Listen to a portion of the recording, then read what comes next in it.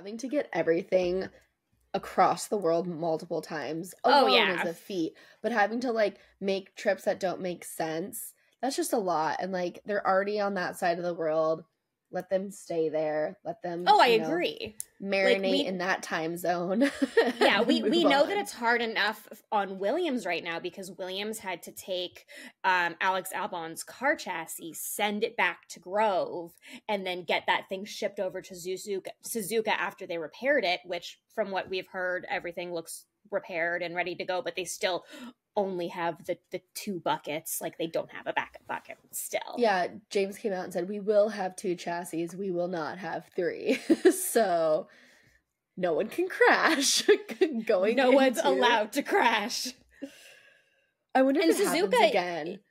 What would happen? That would like be awful. honestly, what do you think they would do if, you know, Alex crashes? Do they take Logan out of the car again, or what? I think What do so. you think?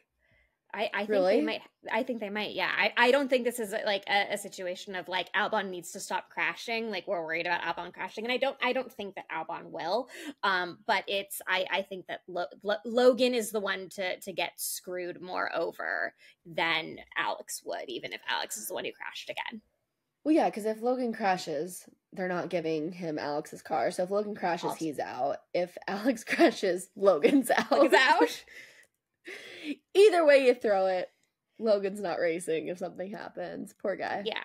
And like Suzuka is also a track that is, you know, pretty DNF heavy. Like this this is not a track when you have weather. weather too. Yeah, I mean 2022 was a torrential downpour disaster of a race. Um, last year we had a number of DNFs including a double DNF um, from Emily's favorite driver Sergio Perez.